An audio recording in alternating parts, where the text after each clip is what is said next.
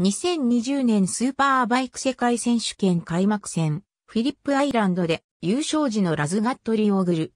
トプラク・ラズガットリオーグルは、トルコサカリア県出身のレーシングライダーで、ヤマハ YZF R1 に乗り、スーパーバイク世界選手権に参戦している。チーム、バタヤマハウィズブリックスワールドスパックに所属。ラズガットリオグルと表記されることもある。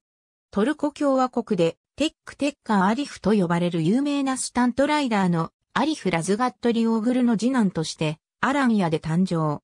トップラクはムスリムとして生きており、イスラームの禁酒の戒律を守り、レースの勝利の時にシャンパンを浴びる儀式とは距離を置いている。2013年と2014年にレッドブル、ルーキーズカップに出場し、それぞれ総合10位と6位。2014年シーズンの第7レースで1位。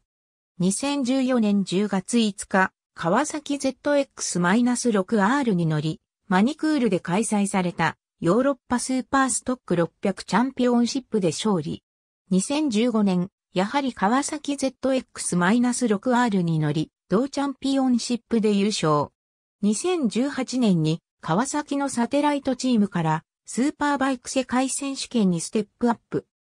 2019年鈴鹿八体では川崎チームグリーンからエントリーし、優勝者として名を連ねたが、実際にはチームはジョナサン・レイとレオン・ハスラムの二人だけでレースを回し、耐久レースの経験のなかったラズガットリオーグルには一切決勝での出走の機会を与えなかった。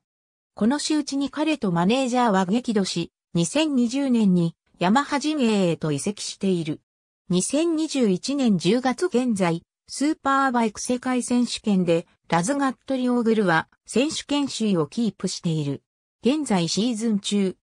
SBK ラズガットリオグル2023年までヤマハから継続参戦。将来的にはモート GP も考えるかもしれないが、今は SBK に集中している。オートスポーツウェーブ、三栄処方。2021年8月20日閲覧。ありがとうございます。